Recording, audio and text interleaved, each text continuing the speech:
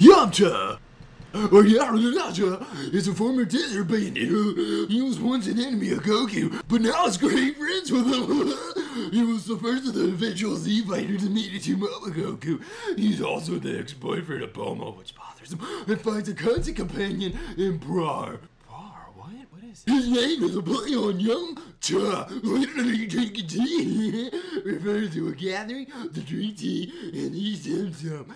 He has the distinction of being the one Z fighter that has known Goku the longest, even longer than